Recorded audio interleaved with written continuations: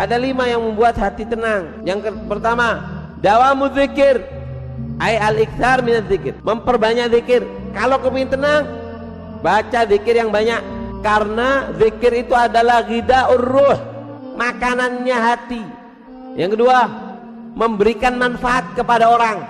Makhluk yang paling dicintai oleh Allah adalah yang paling bisa memberikan manfaat kepada yang lain.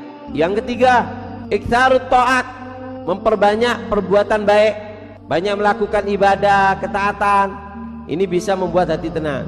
Yang keempat, doa, memperbanyak berdoa. Yang kelima, tarkul fudul min arbaati asya, meninggalkan berlebihan dari empat, berlebihan memandang, ber- berlebihan berbicara, berlebihan makan, berlebihan tidur.